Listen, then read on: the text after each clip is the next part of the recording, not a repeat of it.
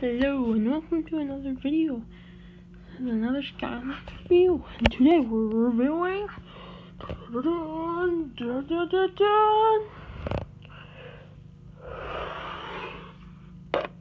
Chop chop. Yeah, today we're reviewing Chip Chip. Here and here. Up to the back we have Lucas, Bobby, Steve, Toby, Yellow, and Orangey. Oh, the portal went off. Thank you. Here's Chop from Undead Out. And from Spyro's Adventure. The Undead Knight. Let's see my sword. There, and the shield. One of my favorites from Spyro's Adventure. He's definitely my favorite undead type. His face. Legs. And. And there, top level, Lucas, Bobby, Steve, Toy, Howard, or Orange, which one you want to see? reveal? Portal went off again.